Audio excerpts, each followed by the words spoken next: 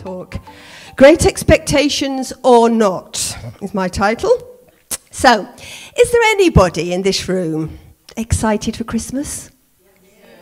Ooh, well, you know, it is a week away. Anybody in the room excited for Christmas? Hey, that's better. That's more like it. Come on, folks. So, a little bit of a story about me. Up to the last Christmas that I was at home before I got married, I was the one who got everyone up on a Christmas morning.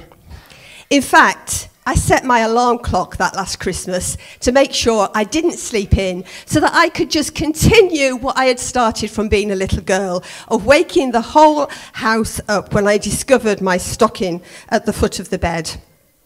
My dad, who's here tonight, lived for the day when I had my own children who could then inflict on me such an experience. They never did. How's that? I think Philip and I made such a good job of tiring our children out in the lead up to Christmas that they never woke up early. In fact, one year we were awake because I was getting excited. I knew, I knew that Father Christmas had been, and there were lots of nice things for my children to open. We lay in bed at eight o'clock, wide awake, excited, not a peep from three children. Can you believe that? Not one of them woke up. So we lay there and we thought, this is no good. So Philip went, I know. So he donned his dressing gown, went onto the landing.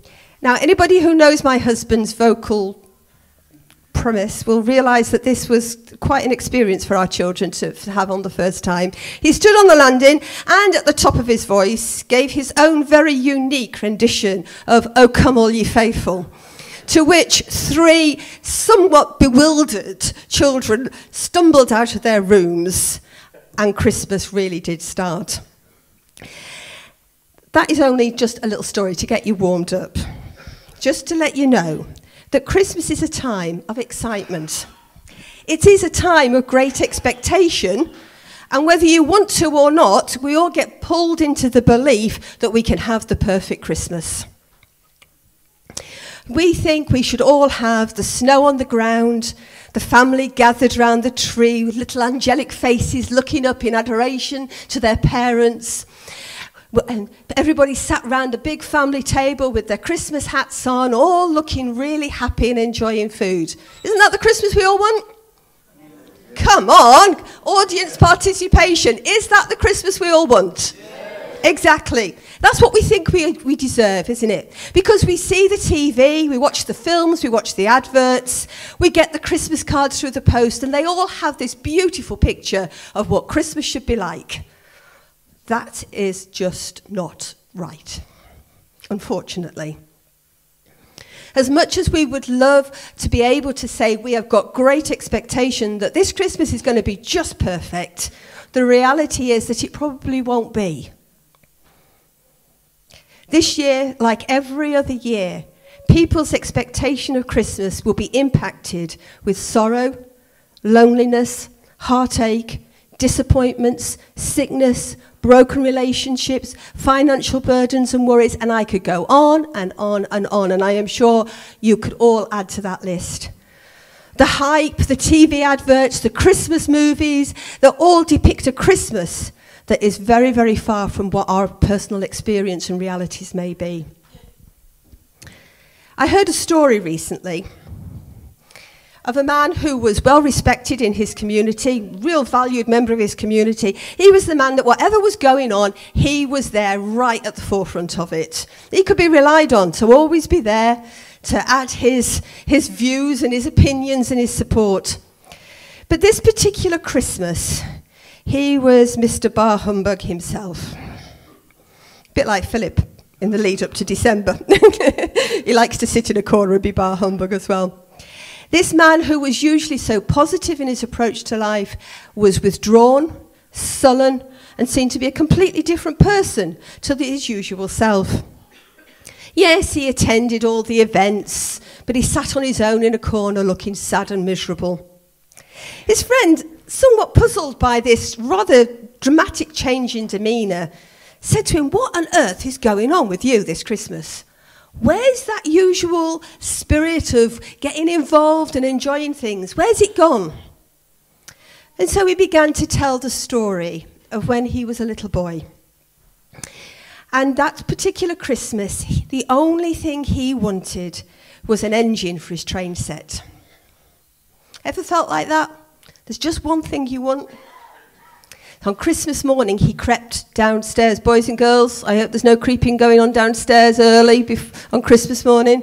He crept downstairs, and sure enough, under the tree was a box that looked about the right size, wrapped in lovely coloured paper with his name on it.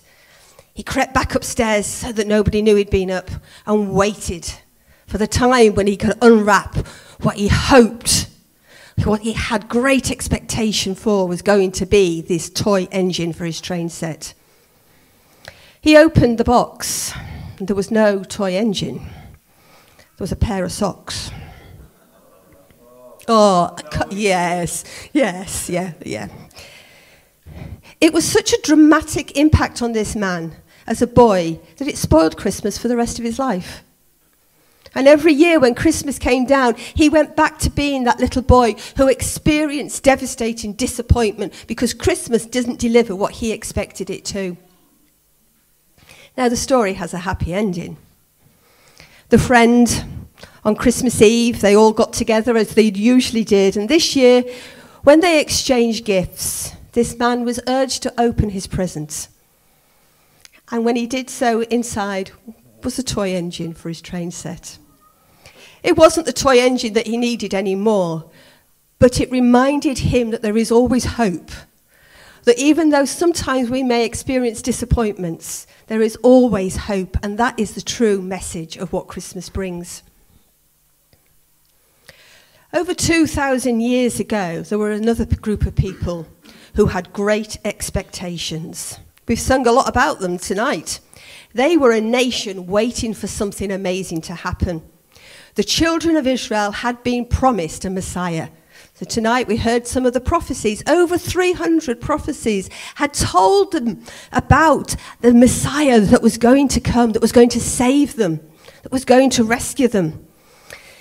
For hundreds of years, they'd read these, prof- these prophecies and they held on to the promise that one day they were going to have a saviour. The trouble was, they were looking in the wrong places. You see, they were looking for a king who would be born in a royal palace. They were looking for a warrior who would fight their battles and destroy their enemies. They were looking in one direction, even though they had been told in Scripture, as what we know as the Old Testament, exactly what was going to happen.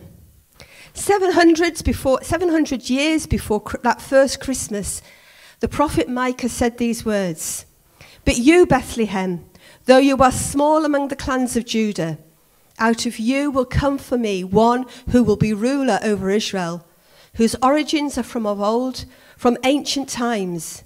Therefore, Israel will be abandoned until the time when she who is in labor bears a son, and the rest of his brothers return to join the Israelites. And in Isaiah, we read, Therefore the Lord himself will give you a sign. The virgin will conceive and give birth to a son, and he will call him Emmanuel. So they had it written down for them. They knew where Jesus, where their Savior, their Messiah was going to be born. He was going to be born in Bethlehem. Now, Bethlehem's probably a little bit, bit like Castleford, the place time forgot, the place that nobody's really interested in, the place that doesn't factor very high on anybody's radar. But it was to that place that the Saviour of the world was going to be born. We also told that how he would be born, that he would be born to a young virgin girl. But their great expectation was that the Messiah would be of a royal line. He was, just not the one born in a palace. He was of the line of David, from a, who was, could trace her, her lineage right the way back. They expected him to be a mighty warrior but he came as a baby. And yet within him was all the power and authority to destroy the greatest enemy ever, the price of sin that had separated us from God. As the people carried out their normal day to day lives quietly in a stable, the Saviour of the world was born. There was no royal proclamation or fanfare played by royal guards informing the great and mighty of the arrival of this baby. But a heavenly host proclaimed his arrival to a group of humble, humble shepherds. You know, so often in life we feel we're not worthy, that we're unnoticed. But Jesus, the Saviour, who came as a baby, noticed a group of humble shepherds and made sure that they were the first to hear that he had arrived. So, whatever our station in life, he comes to each of us and says, I've arrived. The heavens declared his arrival in the stars, leading wise men to find Jesus. And so today, irrespective of who you are, where you've come from, what your background is, it doesn't matter to Jesus. He came for every one of us. He came to the shepherds. He came to the intellectuals, those whose big brains get in the way of a lot of their thinking. But he came to every one of them so that they could meet him. In the New Testament, we read of a man who too was looking for the arrival of the Messiah. But unlike the majority of, the, of his people, he wasn't looking to an earthly kingdom. He was looking to God himself to reveal to him his son. It's one of my favourite stories of the Christmas, of the, of the scriptures around Christmas. It's found in Luke chapter 2. And in the message translation, this is how it puts it. In Jerusalem at the time, there was a man named Simeon, a good man, a man who lived in prayerful expectancy of help for Israel. And the Holy Spirit was on him the Holy Spirit had shown him that he would see the Messiah before he died. Led by the Spirit, he entered the temple. As the parents of the child Jesus brought him in to carry out the rituals of the law, Simeon took him in his arms and blessed God. God, you can now release your servant. Release me in peace as you promised. With my own eyes, I've seen your salvation it is now out in the open for everyone to see, a God revealing light to the non Jewish nations and of, and of glory for your people Israel. It's a wonderful story. A wonderful story of a man recognizing Jesus. And there's lots of people that are in this room today that have recognized Jesus.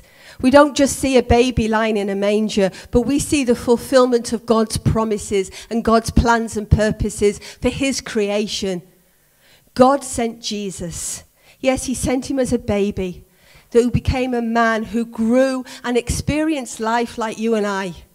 And that is the very special thing about, Chris, about Jesus that there is nothing that we experience in life. That list that I started about with disappointments, heartache, worry, fear. Jesus experienced it all. And he knows. And because he knows, we can come to him knowing that he cares for us. You know, whatever our past experience of Christmas may have been, whatever our feelings and thoughts about the season this year, we can all have great expectations. Not in a perfect picture of uh, Christmas portrayed in films and adverts, but an expectation in the real gift of Christmas, a Saviour who is Christ the Lord. The gift of a toy engine changed one man's view of Christmas, but how much more can Jesus, the perfect gift, bring to each one of us? He doesn't come wrapped in fancy paper, but wrapped in love. He didn't come just to bring a temporary smile. He comes to give life, joy, peace, and hope. He isn't the gift that as time goes by we grow out of. No, He is the gift that's future proofed. A gift that takes us from, in the words of Buzz Lightyear, from here to eternity. He's a gift that enriches our life as we grow in our relationship with Him.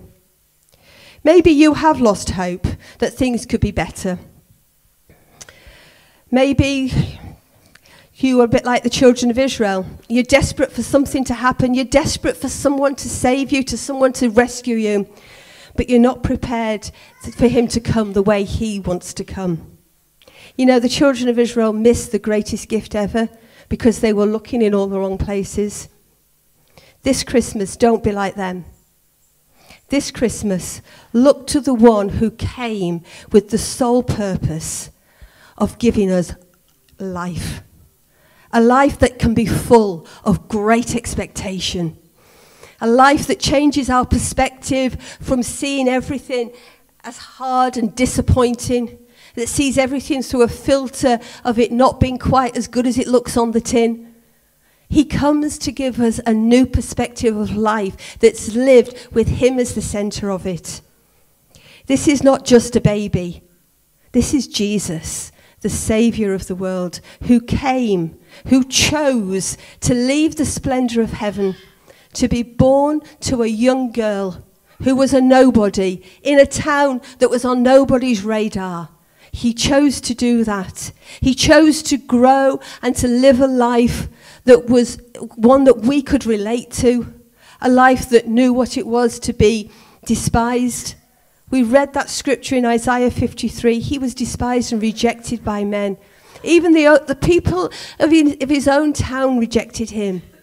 But he came because he had a reason. And that reason was you and I. He came because he loves us. He came and he willingly not only came to be born as a baby, but he came willingly to give his life so that you and I could have great expectations for a life going forward.